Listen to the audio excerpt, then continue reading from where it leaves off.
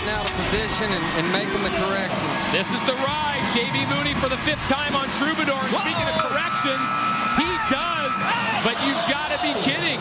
That's two wows in a row.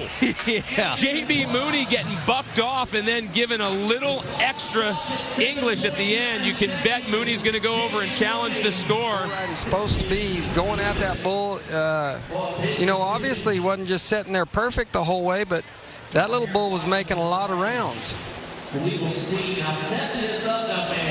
That's why they play the game. You know, I think it lulled us. We, you, yeah, we've seen JB, you know, ride this bull so many times and be so many points on him, but every day's a new day.